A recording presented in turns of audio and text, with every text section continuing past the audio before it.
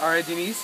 Um, what are you gonna be doing, and what, what why are you gonna do it? I'm gonna swim from here to there and then there back because I want to buy a, the Windows 8 tablet for a hundred bucks.